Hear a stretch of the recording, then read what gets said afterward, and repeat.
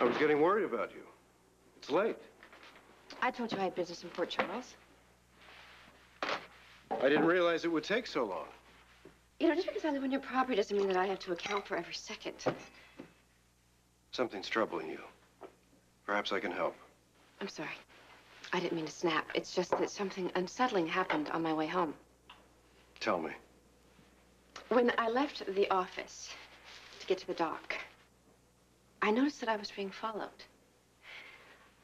I thought it was my imagination, so I sped up, you know, to lose them, and the car stayed with me. So I ended up taking all these back roads that I was unfamiliar with, and I lost them. I got lost myself, and it took me an hour to get back to the dock. I think it was Helena. Ever since she tracked me down at the grill, I've had this feeling that I am being followed.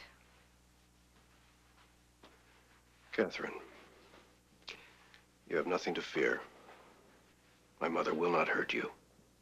Is that all you have to say? What more do you need? Over and over again, you have told me that Helena Cassadine is a dangerous woman. Yet you barely blinked when I told you that I had met her. And now I tell you that I think that she's having me followed all over Port Charles, and you're incredibly blasé about it. What is going on?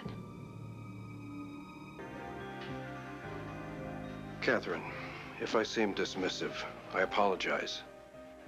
I was attempting to diminish my mother's presence. But I've been keeping a close eye on her. She will not be allowed to harm you in any way. If anything were to happen to you, I wasn't worried about my own physical safety as much as your reaction when I mentioned Helena.